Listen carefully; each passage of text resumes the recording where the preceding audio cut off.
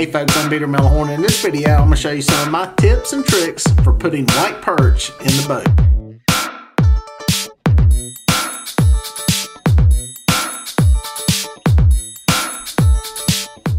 Alright, I just rolled up here and anchored up to catch some catfish. Seen some stuff on the sonar that looked like white perch. So I just drop a bait in the water. they see me rolling, they hating. White perching, baby. White perching.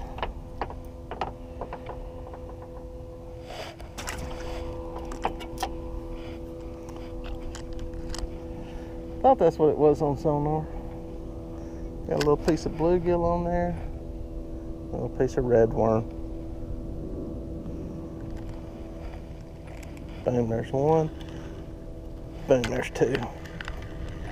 He came off, second one came off. I felt him pop loose. Kabam! Three in the boat in less than 90 seconds.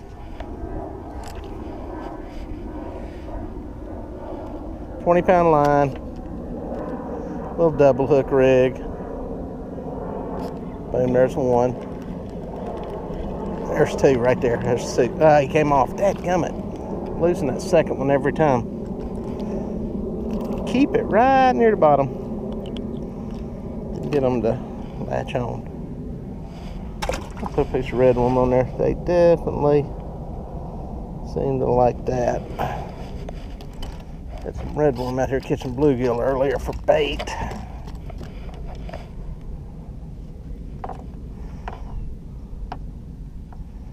If you thread this thing on here like a jig,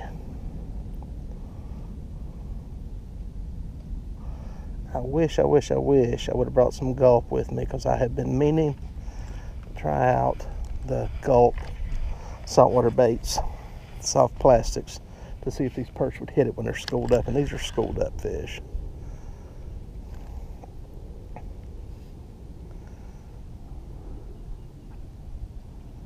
Ooh, two pieces of red worm and they're not hitting it. It's good. Boom, there goes one. Boom two, two, two, two. There we go. Bam, one's quick release into the flow. Is. There we go. Gammon, he's underneath the seat. It's always bad.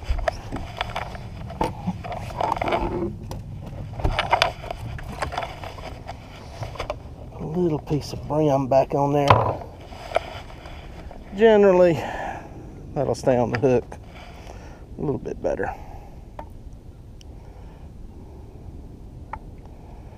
Some people wonder why do you fish for white perch? Well, one, it's fun. Two, it's fun. And three, they make great catfish bait. Uh, that's all the reason I need, really. They're down there sometimes they can be lethargic to bite. Boom, there's one. But once you get one, I lose them. So, got one anyway. Easy piggy piggy. Another one. Yeah, they make great catfish bait.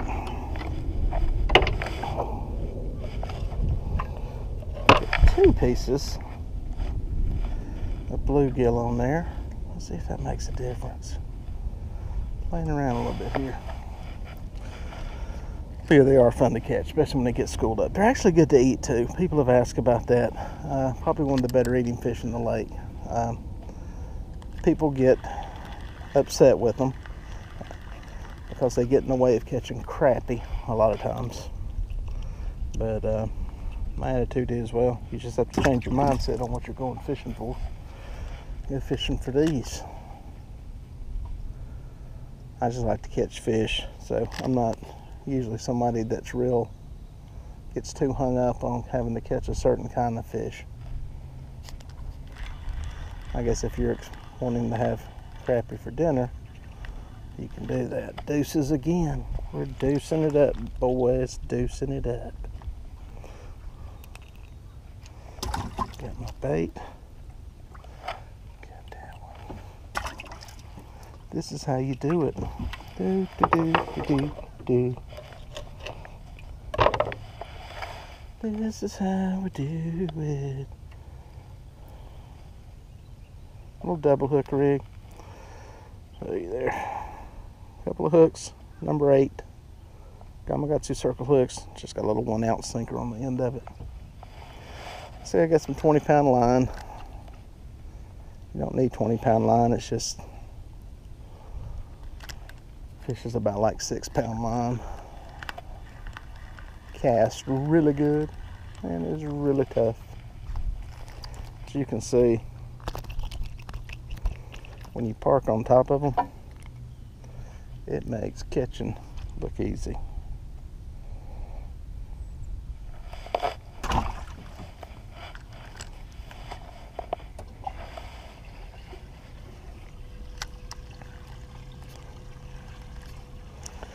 Boom, that should be deuces there I felt a second hit. Yes, sir. Now, if you had a sabiki rig right now, you don't know what a sabiki is, look that up. You could probably be catching six at a time doing this. That can turn into a tangled mess. Got two of them on the floor. Deuces. Deuces.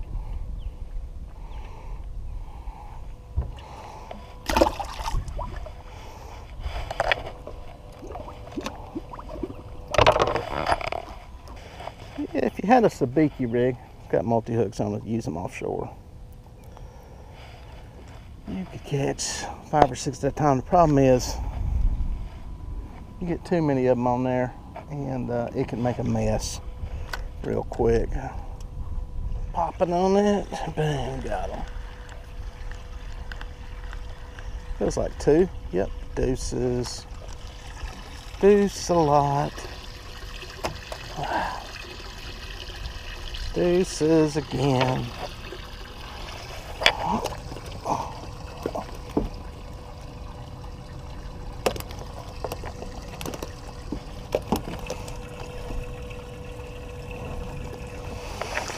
Deuces.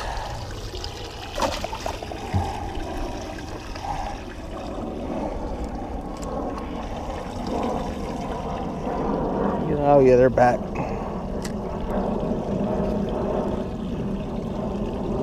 Another one. Just got one.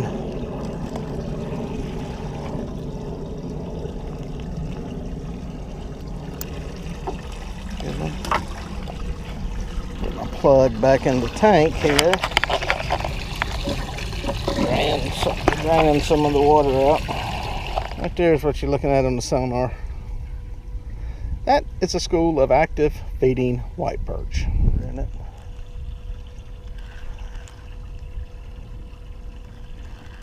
Got him. Two. Two, two, two, two. Oh, he came off right at the boat.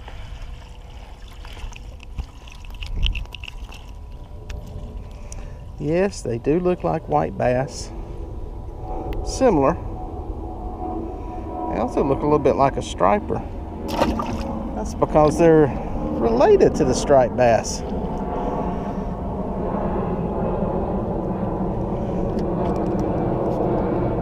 Lot of the same, there we go. A lot of the same habits of a striped bass. Two of them. Again, we're killing them, folks. We're efficiently killing them. We're killing them, brother. As you can see, boom, screen is covered. And I'm a catcher. Two, two, hit it on the way up. There we go. Boom, nice landing. Nice landing.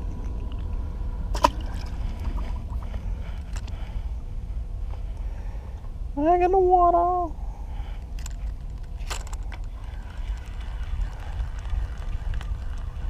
Boom, deuces again. Like I said, folks, when it's on fire, it's on fire. And they will get like this sometimes, and you can kill them. And then other parts of the year, you will wonder if there are any of them in the lake. Boom. Got one. And, oop, two. Hit it on the way up.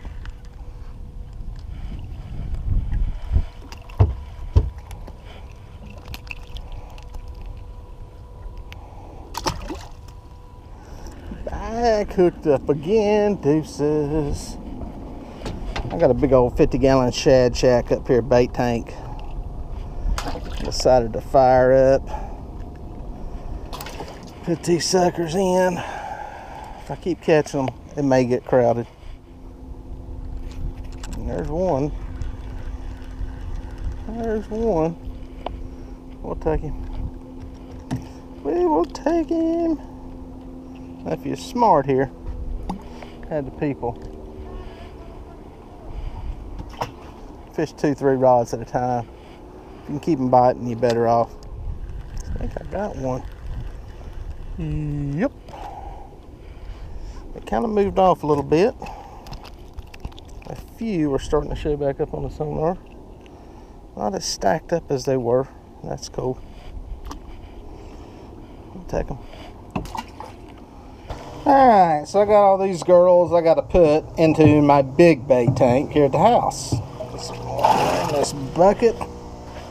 Start dumping them in there.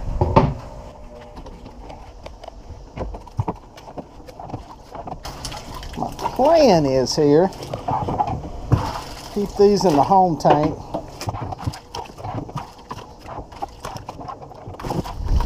More than enough for many days of fishing. Those in the tank.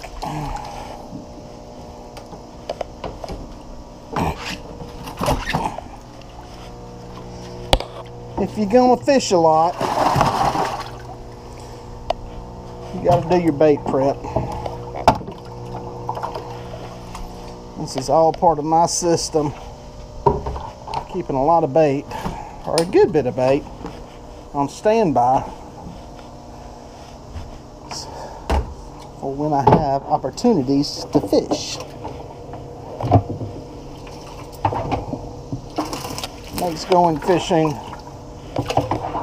a lot easier decision and you don't have to worry about catching bait. The last perch is always the hardest bait to catch.